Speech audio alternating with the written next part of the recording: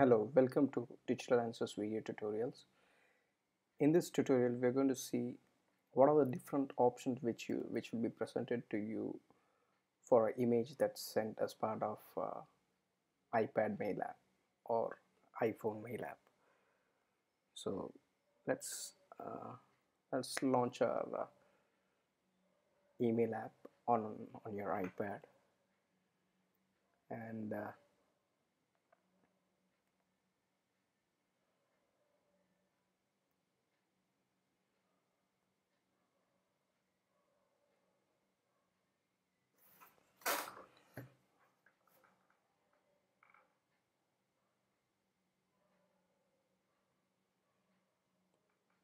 so now just tap and hold on the image and you should see uh, different options uh, presented to you like uh, uh message mail twitter facebook etc so if you want to uh, share uh, this particular image to any of your friends on twitter or facebook then you can just select those options accordingly.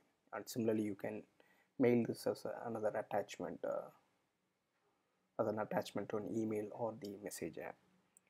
Or let's say you want to assign it to a contact uh, in your uh, iPad then just go for the assign to contact option. Select the contact for which you want to set this image and then you can say use or choose. So whatever option uh, so you can go for that.